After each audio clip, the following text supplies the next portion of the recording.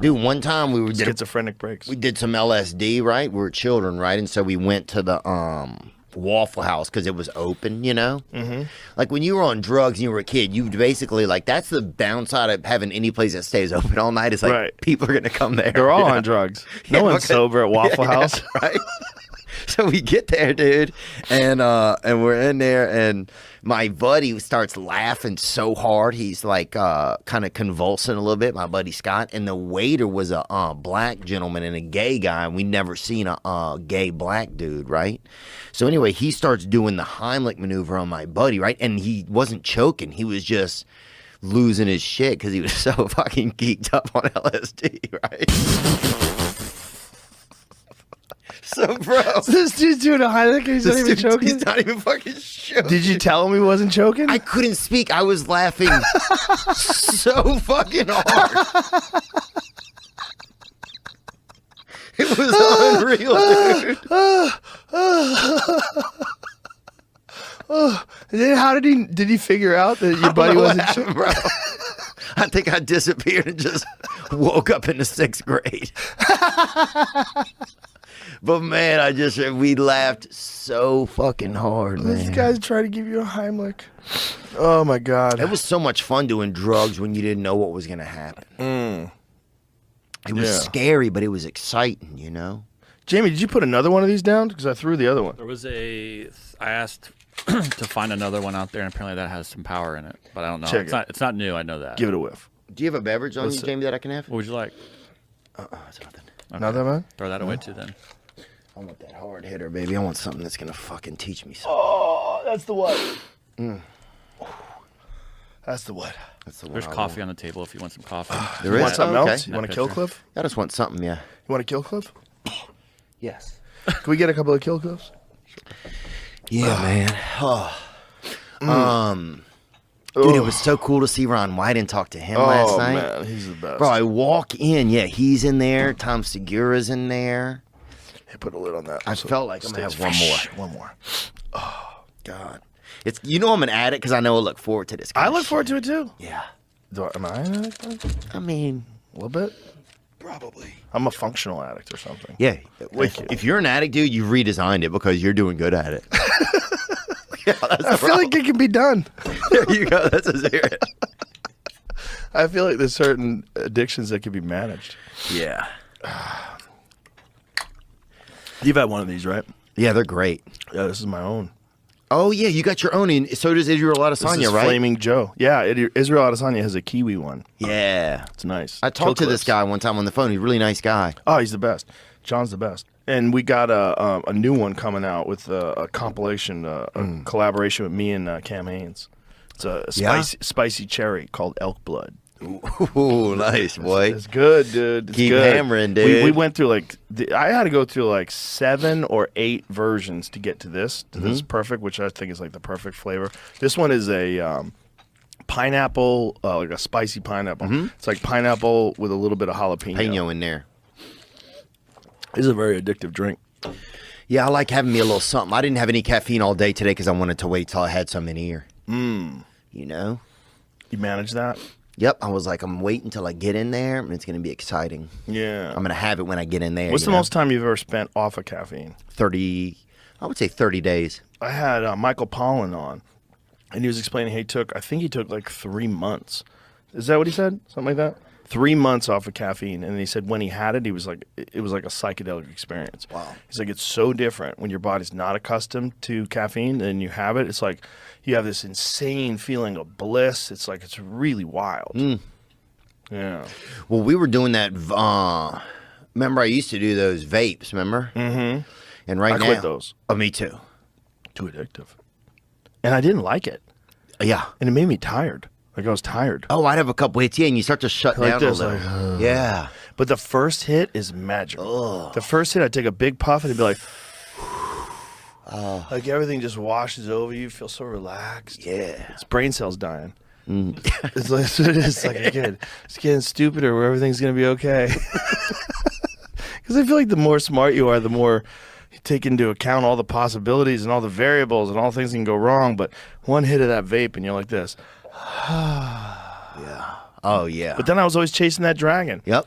And then later on the night, I'd notice I'd be hitting it and nothing would happen. I'd be like, what am, what am I doing here? Yeah, I couldn't. I think we did Esco Bars or whatever. Mm-hmm. Oh, and then one time I went into a place and the lady's like, "This is the strongest one they got.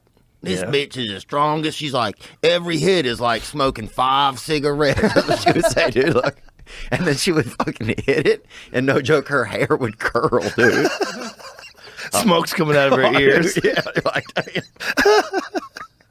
This bitch like hitting five cigarettes. he fucking hit that bitch, boy. Yeah, I haven't fucked with the vapes in quite a while, but uh, I have friends that still hit them all the time, Mm-hmm. and you see like, oh, I see that. I see that little demon that's in your body.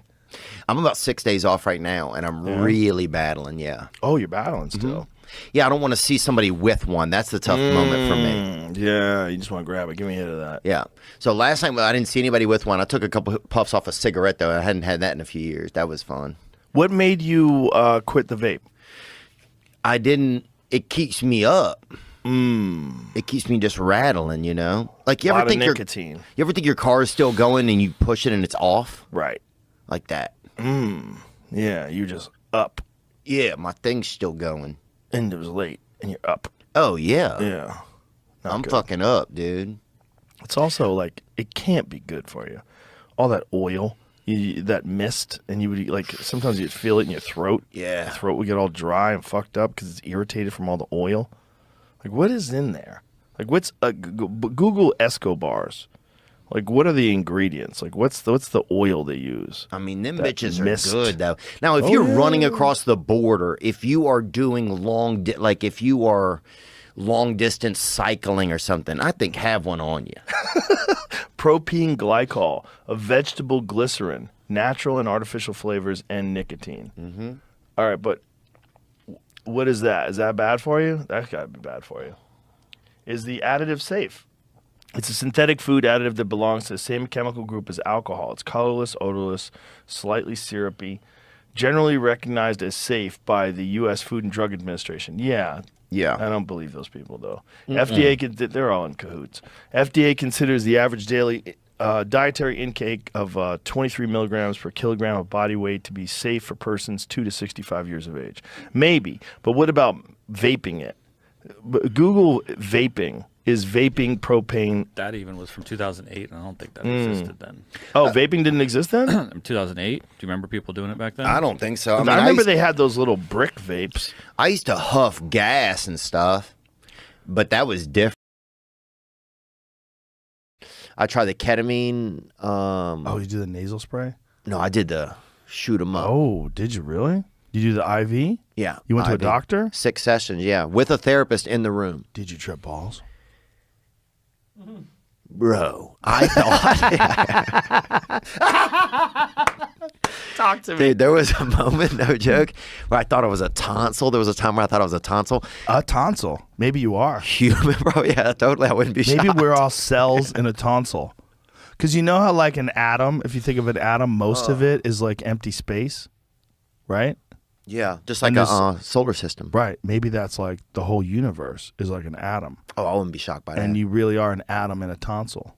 but that the reveal on that wouldn't be. I need something dark. I need something more than that. So when you thought you were tonsil, tell me what, what, what the experience was like.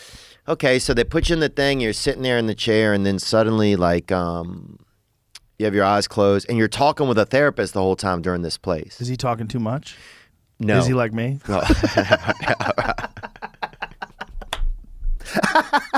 No, I don't think he. I'm glad you talk because I don't. It's hard for me. The, the most I've ever talked in my life is a couple times with you ever. my life. Like back to ketamine. yeah. Okay, so I'm sitting there in the chair, and a man named John, the Serp, the Sherpa, kind of. You're in there with a Sherpa, and it's a lot. Sherpa. I thought it was a like a counselor or something. I mean, it's a count. He had a whistle around his neck, so that's the only part Oh, that made it a little bit dicey. But God damn it. but it was sanctioned. It's in a beautiful facility. It's a nice facility. So go in, they put it in you. I'm sitting in the chair. He had a whistle. Uh, I think it would like it might have been a safety piece he had from being a child or something. He might he could have been, I don't know, lifeguard. I have no idea what his past was like. But he was a nice guy. But he's a therapist. So I'm sitting there and I start dreaming, you know, like a regular dream, you know. I start dreaming a little bit. I'm still talking to him, and then I start talking about being a kid. You know, I, I love thinking about being a kid and stuff, and so I start talking about being a child, and then I start talking about my dad, and now like the darkness is starting to have like kind of shapes in it, and things are starting to feel that I'm talking about are starting to feel real. Like this feels real. I'm sitting in here with you, and there's this table here, and this, so I can feel this feels real. Jamie's right there. So things like that I'm talking about start to feel. It has a feeling, not just a vision. So I started to feel. I was talking about my dad, and next thing you know, I'm spending time with my dad. Like I'm with my dad. Whoa. And I had, you know, and I hadn't gotten to spend time with my dad in 20 years. So like um and I remember I got to let my dad know that I loved him. I didn't know if he ever knew, you know.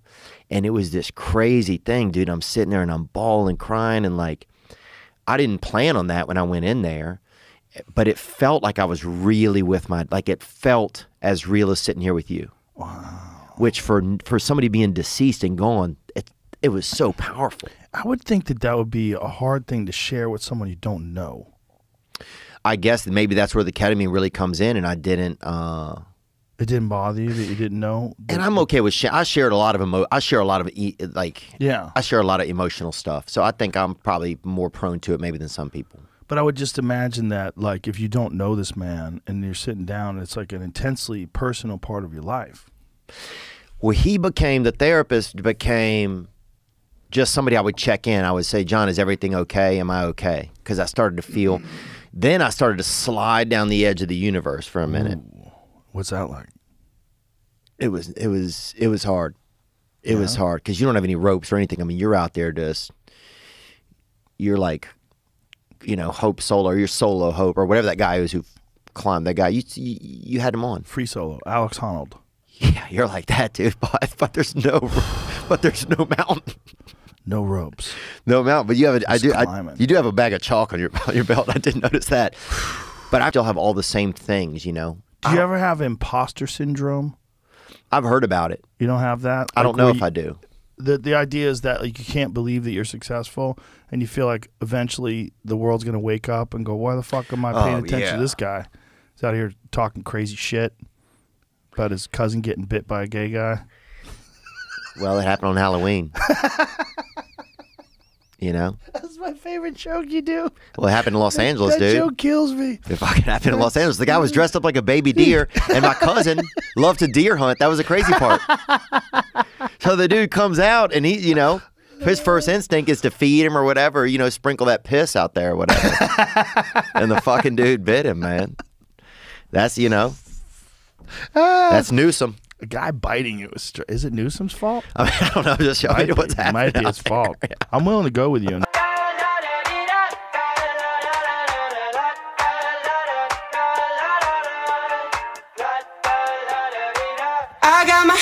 The sunroof. I'm blasting our favorite tune.